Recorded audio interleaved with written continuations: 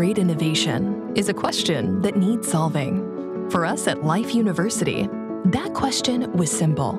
How can we train as many future doctors of chiropractic as possible without sacrificing our standards of excellence or safety? This question is the driving force behind Life University's Technique Lab of the Future. It guides all of our research and every development. And today, that question has an answer. Introducing PAT, or Palpation and Adjustment Trainer. PAT is an anatomically accurate, technology based mannequin designed to revolutionize the way that chiropractic adjustment skills are learned.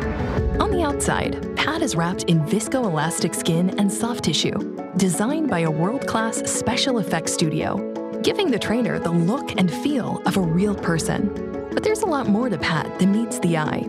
Inside PAT are 64 embedded pressure sensors developed over three years of rigorous research, which are attached at the skull, pelvis, and sacrum, and run along a precise 3D printed spine.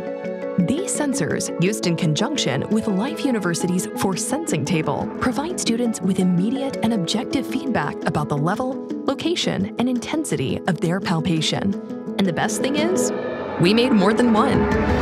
Is designed to be used in the beginning of our Doctor of Chiropractic program, ensuring students develop the muscle memory and motor skills needed for patient care before they even start their clinical training and see human patients. The creation of PAT ensures that Life University provides its Doctor of Chiropractic students with the most advanced palpation and adjusting technology lab in the profession and allows the university to train more doctors of chiropractic faster and safer than ever before.